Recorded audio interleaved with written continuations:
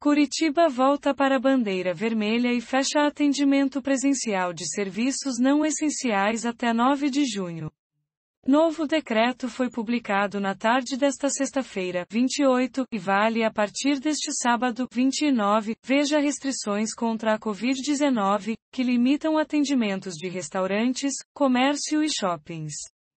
Curitiba volta para restrições da bandeira vermelha a partir deste sábado, 29, de acordo com decreto publicado pelo município nesta sexta-feira, 28.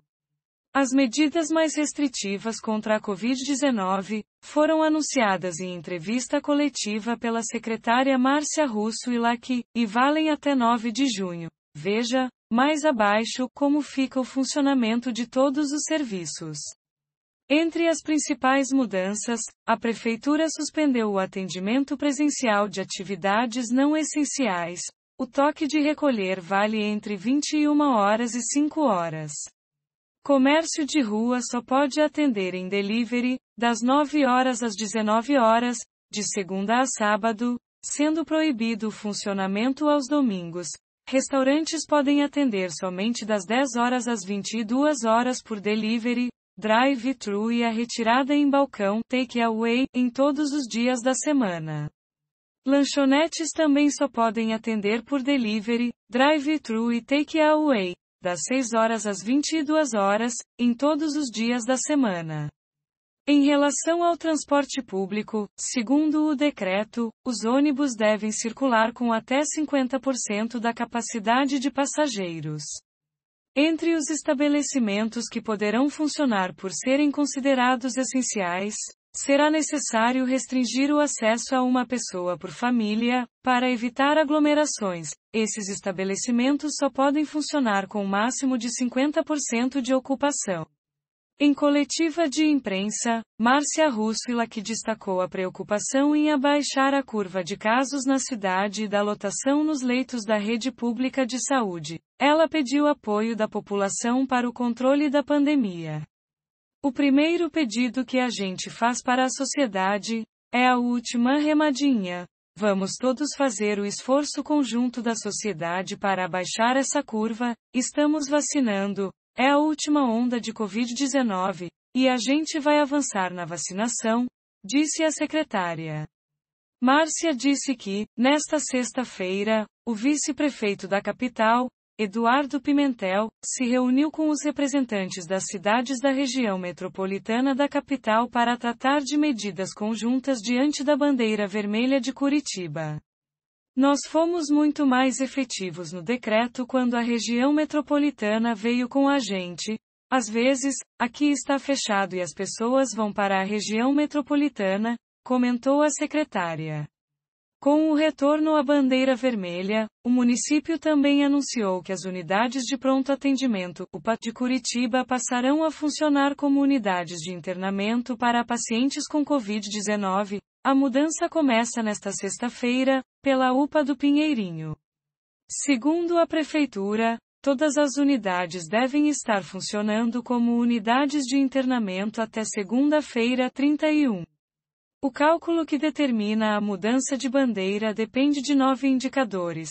Quatro deles apontam a velocidade do avanço da pandemia, dois calculam a incidência da infecção na população e outros três, com maior peso, dizem respeito à capacidade de atendimento do sistema de saúde da cidade.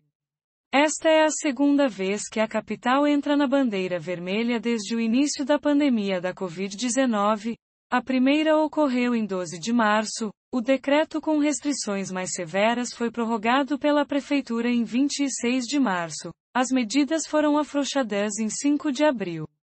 Na quinta-feira, 27, a Prefeitura reuniu de forma online 50 representantes de diversos setores da economia, da área da saúde pública e privada, além de entidades de classe, políticos e Ministério Público, para discutir a situação da pandemia.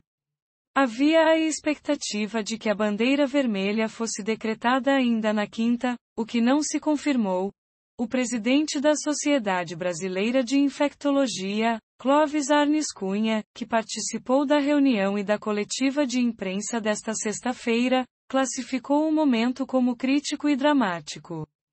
Segundo ele, não apenas no serviço público, mas também no privado, está, cada vez mais difícil, fornecer atendimento adequado. Não temos mais recursos humanos.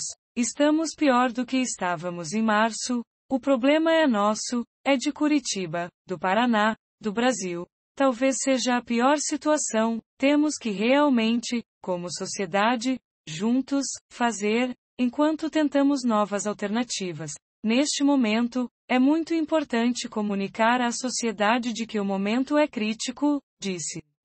Na entrevista desta sexta-feira, a infectologista da Secretaria Municipal de Saúde de Curitiba, Marion Burger, e a secretária de Saúde, informaram que a cidade pretende vacinar toda a população acima de 18 anos até o final deste ano.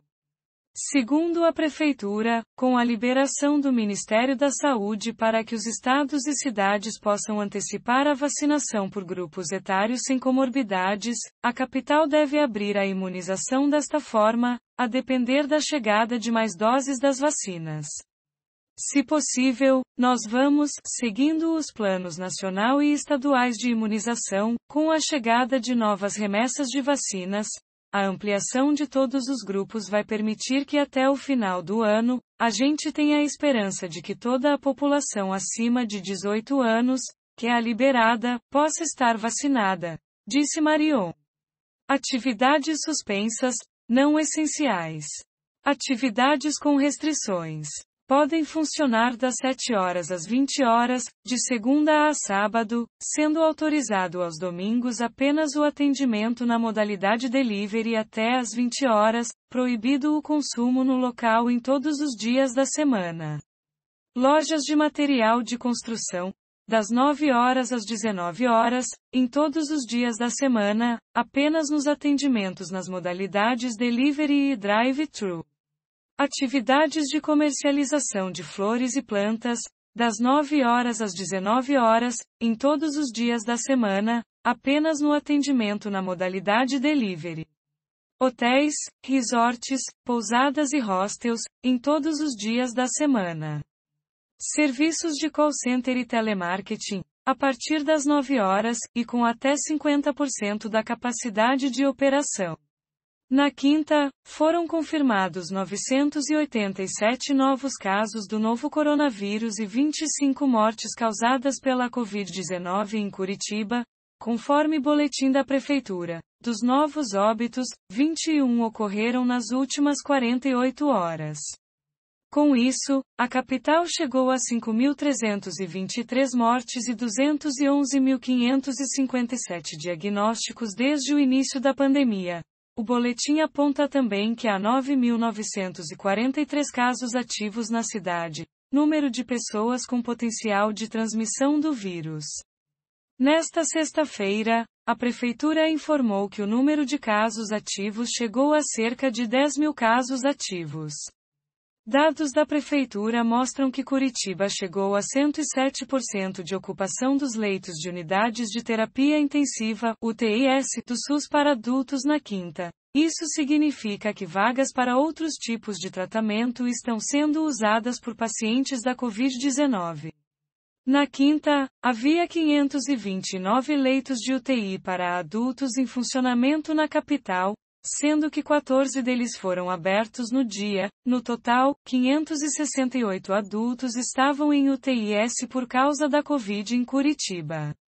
Das 726 vagas para adultos e crianças em enfermarias, 717 estavam ocupadas na quinta, ocupação de 99%. Veja mais notícias do estado no G1 Paraná.